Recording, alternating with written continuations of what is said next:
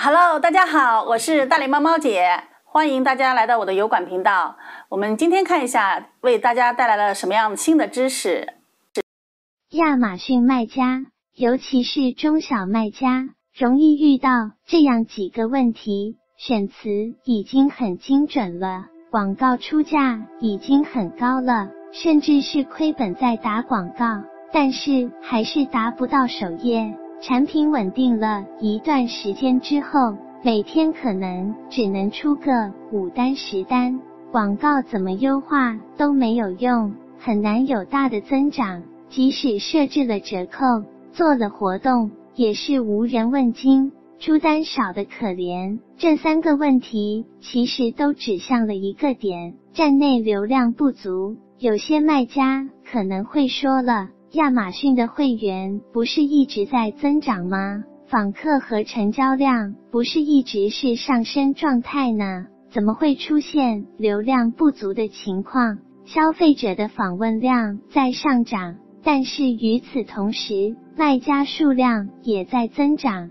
截止到二零一八年中旬，亚马逊卖家已经超过六百万，每年新增超过一百万名卖家。产品相似甚至相同的可能性大大增长。消费者只是在亚马逊上购买产品，至于购买哪一家的，消费者并不在意。而流量不足，肯定是僧多粥少的情况导致的。亚马逊会把流量分配给表现更好的 listing，因为亚马逊的流量也是从谷歌、YouTube。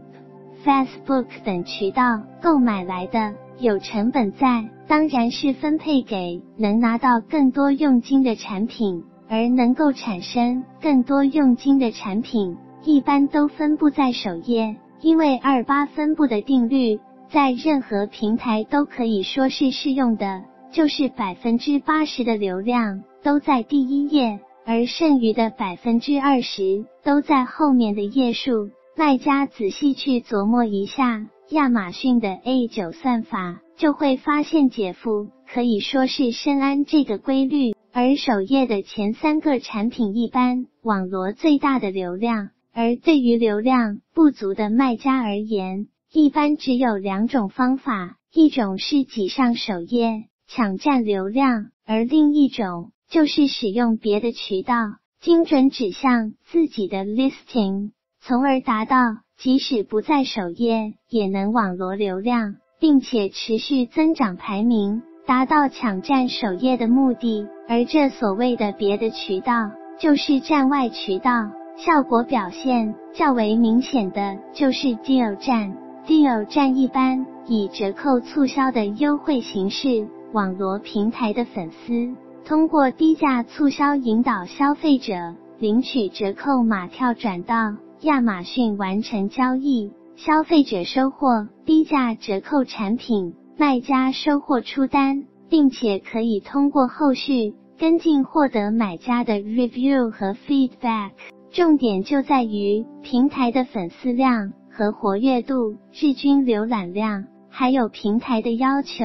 而这些卖家在 VIPON 平台统统不需要担忧，平台买家数。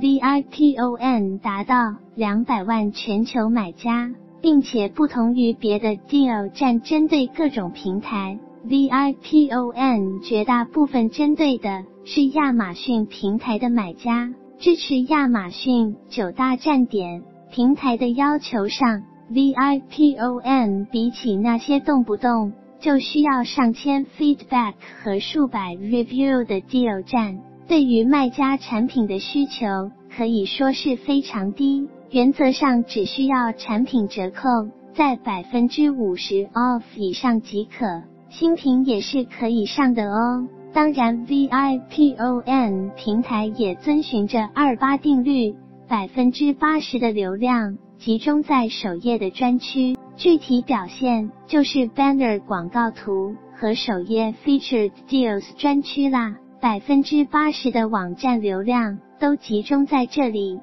效果当然杠杠得啦。而首页的 Featured Deals 专区更是不用多讲，因为复购的卖家本来就很多，很多大卖家都在使用我们 FD，随便给大家发几个效果截图。